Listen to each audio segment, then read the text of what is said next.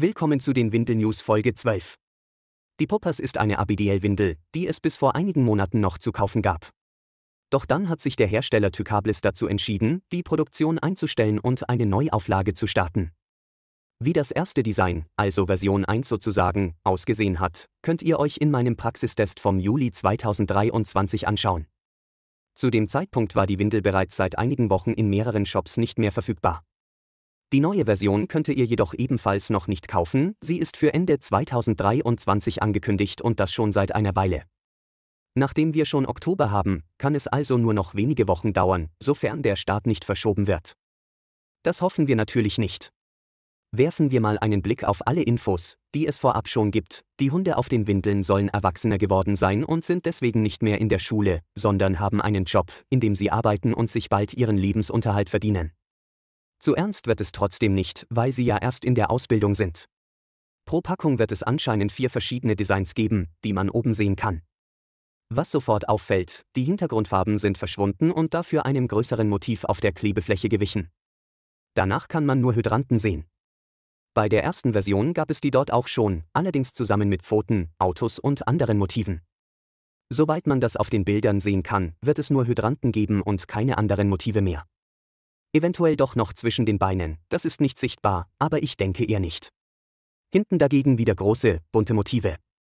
Diese gehen farblich bis in die Seitenteile und schaffen mit den Klebern einen Übergang. Die Saugleistung soll verstärkt worden sein und wird mit 7,5 Litern nach dem genormten ISO-Test angegeben. Zuvor hatte der Hersteller 6 Liter angegeben, allerdings war unklar, wie dies gemessen wurde. Wenn der alte Wert auch nach ISO war und dies nur vergessen wurde dazu zu schreiben, wäre es ein Upgrade um 1,5 Liter theoretische Saugleistung. Ob sie dadurch mehr aushält, muss ein Praxistest zeigen.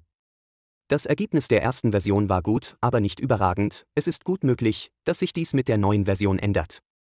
Das Außenmaterial wird weiterhin Plastikfolie bleiben, wie es die Mehrheit von euch lieber mag, anstelle von Karten außerdem eine eher robustere statt dünnere Folie, wie es beim Vorgänger auch schon der Fall war, ähnlich mit anderen Features.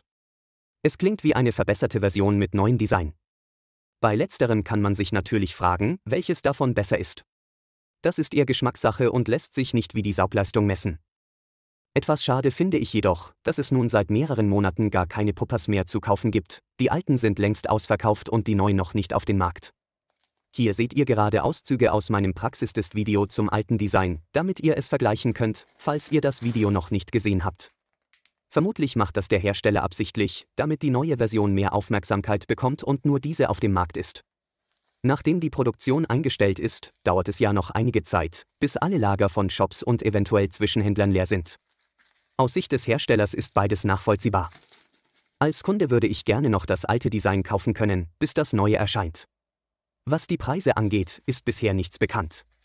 Da auch das neue Design auf Klett setzt, wird sie erfahrungsgemäß etwas teurer sein. Wie gefällt euch das neue Design im Vergleich zum alten? Welches davon findet ihr besser? Schreibt es in die Kommentare. Wenn du dich für die Puppers interessierst, findest du an der Seite das komplette Video zu meinem Praxistest von der ersten Version. Darin stelle ich die Windel ausführlich vor und zeige, wie viel sie im Praxistest ausgehalten hat. Macht es gut und bleibt trocken. Bis zum nächsten Video.